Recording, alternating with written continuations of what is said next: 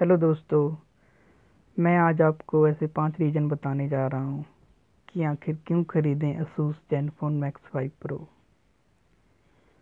पहला रीज़न तो ये है कि इसमें आपको dual V O L T का सपोर्ट मिल जाता है, जिसकी मदद से आप दो जियो की सिम या दो फोर जी सिम एक साथ इसमें यूज़ कर सकेंगे।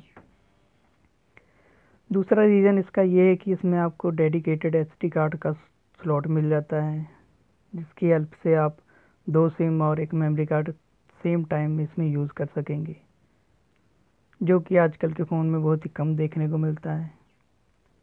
तीसरा, इसका रीज़न ये है कि इसमें आपको पाँच हज़ार एम की बैटरी मिल जाती है, जो कि एक बहुत ही अच्छी बात है। आपका फ़ोन दो दिन आराम से चलेगा।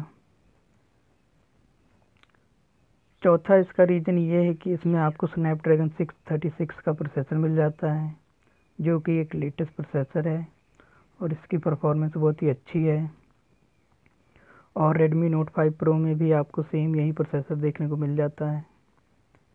पांचवा रीज़न इसका ये है कि एक बजट स्मार्टफ़ोन है। तेरह हज़ार की रेंज में आपको ऐसा स्मार्टफ़ोन शायद ही कोई कंपनी देगी। इसके दो वेरिएंट आ रहे हैं।